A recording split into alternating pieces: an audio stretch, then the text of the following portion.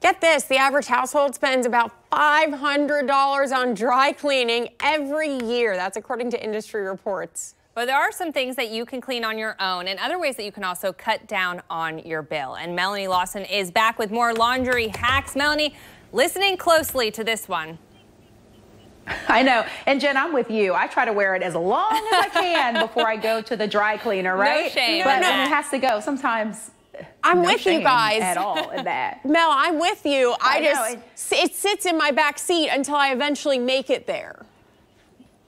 I get it. I get it. I have worn clothes many times, maybe even twice too long. I'll just say that. So check this out. This is a shirt that apparently I can wash at home and I've been sending it to the dry cleaner, but I looked and one of the keys here is to really understand the icons. So on here, it looks like someone's little hand is hand washing, which means that I can hand wash it. The key when you are hand washing something that's kind of flimsy like this is you don't ever want to stick it in the dryer. You want to make sure that you hang it and you dry it. And I'll show you a quick way to maybe dry, especially when you are hand washing. This is a dress that I wore to one of my birthday parties and it says says that I should never wash it. Dry clean it, wash it, just spot clean it. So that's interesting. I didn't quite know that about this.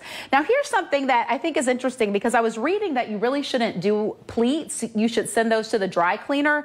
But I learned from a fashionista that if you take, you know, one of your hair ties and you can actually like bunch this up like this, and then you can wash it. Oops, that one broke. Sorry. You can wash this, but if you take it and you kind of get a better hair tie than these. Anyway, you're gonna tie it and then that's gonna keep it pleated and then you can, you know, put one here, one here, and then you can go ahead and wash this and it, will keep the pleating. That's if you're risky and you wanna take that risk. This was my mistake. Um, Lauren, that I wanted to talk about. This is a cashmere sweater that shrunk because I did go ahead and wash it. I know, so bad. No, you know, you, you know better. Wool I knew better. And what happens with me is that someone always takes my clothes out of the washer and then sticks it in the dryer. And I'm like, wait, we have to go through and make sure that everything can be dried. So, you know, cashmere's, you definitely don't want to wash at home. You want to dry clean. But I did read that wool, you can get away with it, but you want to make sure that you're stretching it out on the counter. You know, again, nothing that you ever want to put into the dryer. All right, so here's a couple tips you. If you have something that you're skeptical about, you could take a spot test. So you want to put it somewhere that you know no one is going to see. You use a little water, maybe a little detergent if you want to, and you're just going to kind of take a cotton ball or a Q-tip. And if it fades or if it starts to bleed, then that's something you definitely want to go ahead and take to the dry cleaner. But a spot test is something you can do. Also, if you are hand washing, you want to do it in the sink, maybe a little Woolite or a gentle cleanser.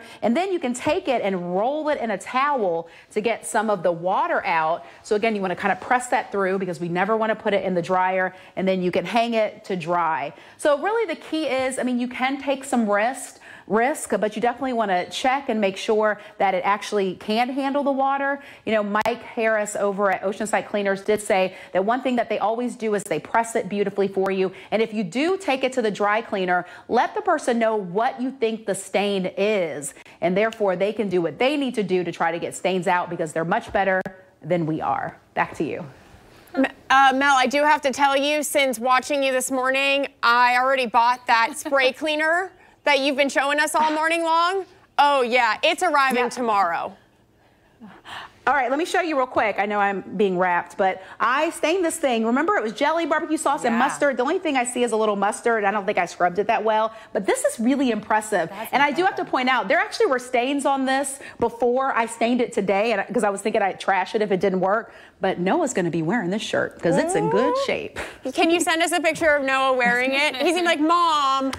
Oh, sure. Oh, he's sweet. He'll do it. He'll all do right. it. Mel, you, this has all been amazing. Uh, you've helped so many of us. Thanks. I'm raising my hand. You can't see it, but you're the best. Thanks, Mel. Thanks.